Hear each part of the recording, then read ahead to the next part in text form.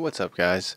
So, in this one, I I want to do something a little different. I do a, a, ton of these videos where I talk about gear, and I, I want to talk about something a little different.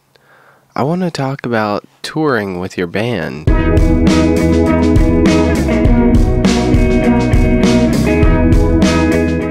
So, if you play music, maybe you have aspirations to make a little money or kind of support your hobby with making money from it or wh- whatever. And touring can be a daunting task from the outside, but when you really look at it, it's pretty simple. It just takes some commitment, research, time. You don't need a booking agent to get started. You can do a lot on your own to get going, and it's pretty simple. So, there is a method in touring called the hub and spoke method, and how it works is your central location is the city you live in. Now, look outside of your area. I think Nashville is a great example of this because all of the highways make a perfect circle around Nashville and it looks kind of like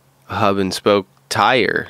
And that's what you want to do is you want to look for little cities around where you live and pick each city, write them down in a list, make a map, make a calendar, start planning okay we can we can go here this week we can go here next week. You don't have to be on a 365 day fucking tour to get started. You can just pick one city a week around where you live and just there's a website called Indie on the Go. It's a great resource and you can find little little clubs, bars, whatever and you can see what kind of music people are playing there, what kind of acts do they book. Sometimes sometimes you can get the booking person's information off of there. Maybe you might have to do a little more research, dig, make a list of the places in that city, and go, okay, this week we're going to this city, and we have five places. Let's call them, say hey, or email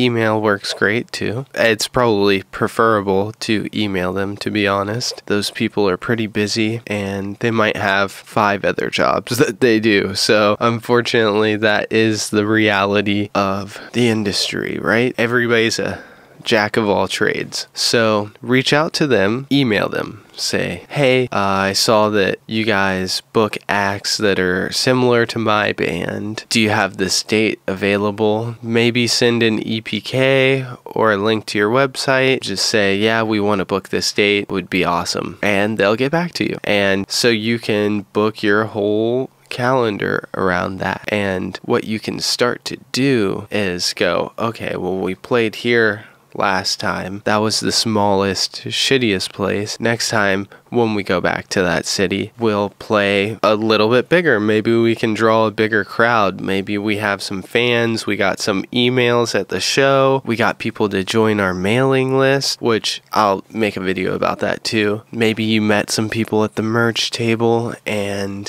which is another thing. You should have a merch table if you want to make some money because a lot of these places, especially the smaller places, might not really want to pay you all that much or at all.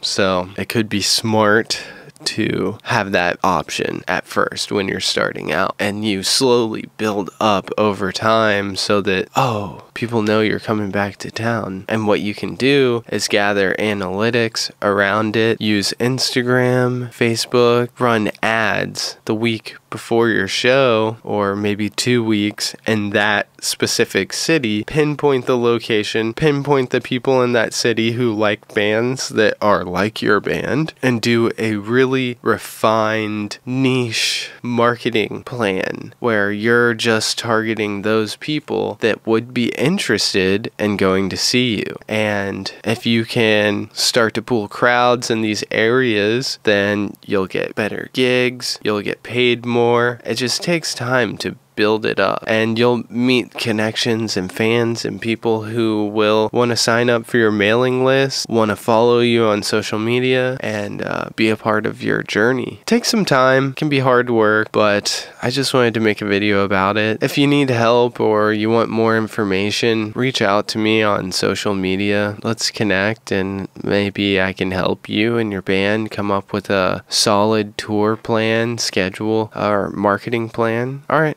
Música